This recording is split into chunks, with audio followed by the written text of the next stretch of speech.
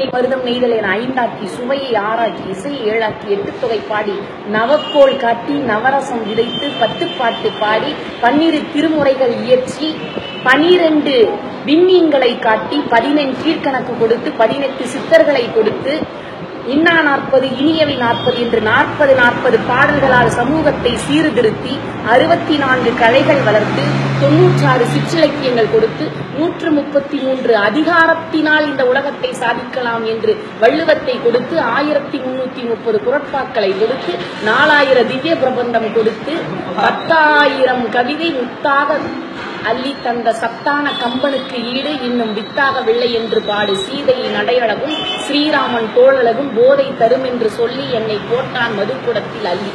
அண்ணனோடு தம்பியர்கள் நாளாகி ஐந்தாகி ஆறேழு ஆனந்தம் கூறி என்னை ஆளுகிறான் மூளைதனில் ஏறி.